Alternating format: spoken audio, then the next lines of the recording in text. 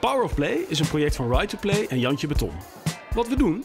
Jules legt het even voor je uit. Het project is eigenlijk gewoon van nutteloze dingen die je niet meer kunt gebruiken, tot je daar weer leuke dingen van maakt. Nieuw speelgoed. mu bijerekani ukagikora neza ukagikora- ukayikora ugashyiramo udushumari neza ukayikora ukayitunganya Ik heb heel veel spulletjes gebruikt, dus ook heel veel doppen.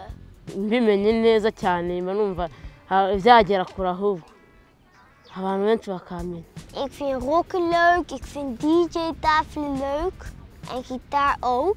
nigisha abo twigana kubikora n'abandi bose ba- ba- banyegera En ook met plastic knutselen vind ik leuk, omdat ik dan plastic soep red en ook de wereld zo'n klein beetje.